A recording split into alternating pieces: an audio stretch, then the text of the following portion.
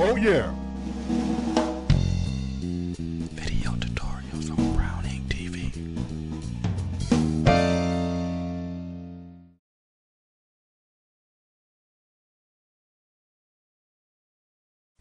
Welcome back to part two of our tutorial on how to animate puzzle pieces, the Corel Studio Pro 5 Ultimate portion of the tutorial.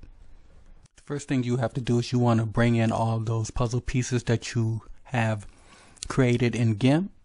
The first thing you want to do is you want to make a folder for them and then you want to press files then go all the way down to import media to library then you want to press photos and wherever you saved them to in GIMP you want to go there I saved them to the desktop and go down and find them on your desktop and there it is. And click it and it'll put you puts it in that particular uh, uh, file.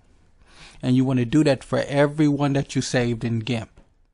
And now that you have all your puzzle pieces in Corel including the original uh, picture that you use the next thing you want to do is to create nine overlay tracks by clicking on this and then go down where it says overlay track.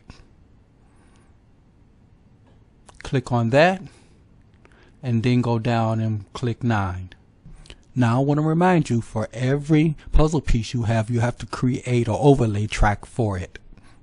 And now all you have to do is just drag and drop each puzzle piece into each one of the overlay tracks And then what you want to do is you want to shorten that clip to two seconds, which is two bars. Then after shortening the puzzle piece that you put in the insert, you want to put the next one on the one um, second line. See that gives you a little bit of a mark. That's why we shorten it to two. Because a little later on we're going to have to do something else to the um, to the track itself or the uh, the picture itself. And I'll be back when I'm all done with this. Okay all done. Now the next thing you want to do is you want to drag and drop your original picture up near the top the first overlay track. And then what you want to do is you want to size your picture to the size of the of the puzzle frame. Let's pull that down a little bit right there. You see you can show your lines by that first puzzle piece. And then what you want to do is you want to for the next one you want to size it to the size of the puzzle of the original picture and go on and do all of them the same way. And after done with that, the next thing you want to do is you want to click on the FX tab. What you want to do is you want to apply an effect to it. And what we're going to apply, the effect we're going to apply to it is the, the pan in or zoom in or zoom out effect. As you can see up at top in the preview. And just drag and hold and drop it on top of the puzzle piece. And then what you want to do is you want to go adjust it you want to actually reverse it.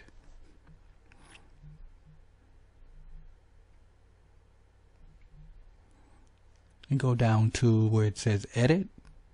And all you do is press that tab right there and it will reverse the, uh, the pan in and pan out. And now after you reversed it, now what you want to do is you want to decide where you want the puzzle piece to come into on the screen. What I've decided to do is whichever where it's positioned at, I want it to come in opposite on the opposite end of the screen. And now, as I said before, you need to repeat this process for each one of your puzzle pieces. And now what you want to do is you want to make the length of the puzzle track to end up all at the same place, stop at the same place. So you stretch them all the way out. Now the original one or at the, at the top, the first overlay track will be longer than the last overlay track. Real easy to do. All right. One more. Okay, right there. All right.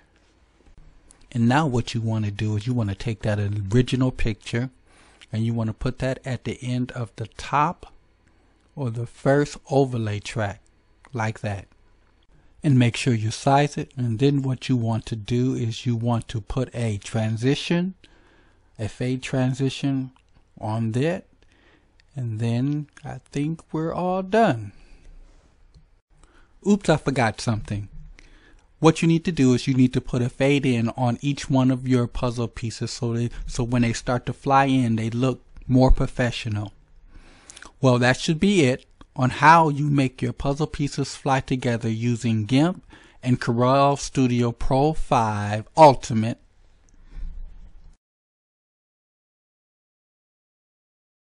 Thank you for watching another edition of the video tutorial show on Brown Ink TV.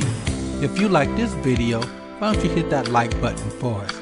Or better yet, subscribe for all of our amazing content.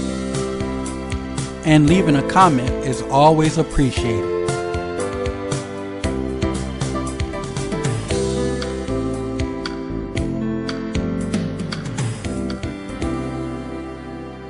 This has been Mr. K signing off for video tutorials. I'm out of here.